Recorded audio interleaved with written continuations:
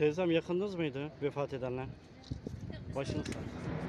Eniştem, Ay yavrum. kayınpederim. Ondan sonra görümcem, Göreceğiz. eniştemiz, evet.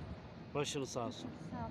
Dört Yeğenimiz, kişiydi herhalde değil mi evet, içerideki? Dört kişi, evet. Üçünü bulundu bir tanesi. Aha, bir tanesi kaldı. Başınız sağ olsun. İsimleri neydi teyze? Abim, Mehmet, Ayşe, Eda, Soy isimleri Harharcı. Harharcı. Hı hı.